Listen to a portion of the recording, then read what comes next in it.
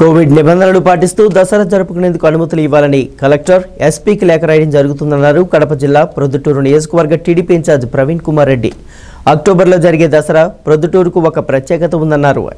రాజకీయాలకు అతీతంగా అన్ని పార్టీల మద్దతు తెలపాలని ప్రవీణ్ కుమార్ రెడ్డి మీడియాకు తెలిపారు. హోమ్ క్వారంటైన్లో ఉండి చికిత్స తీసుకుంటున్న వారికి ప్రతి ఒక్కరూ కూడా త్వరగా కరోనా బారి నుండి కోలుకోవాలని చెప్పేసి మనస్ఫూర్తిగా భగవంతుని కోరుకుంటాను ఈరోజు ఈ ప్రెస్ మీట్ పెట్టేదానికి ముఖ్య కారణం ఏంటంటే రేపు నెలలో దసరా రాబోతుంది. దసరా పండుగ అనేది మైసూర్ తర్వాత రెండవ స్థానంలో మన ప్రొద్దుటూరులోనే దసరా జరుగుతుంది. అట్లాంటి దస దసరాను ఈసారి జరుపుకుంటారా జరుపుకోలేమా అని చెప్పేసి ప్రజలంతా ఒక కన్ఫ్యూజన్లో ఉన్నారు.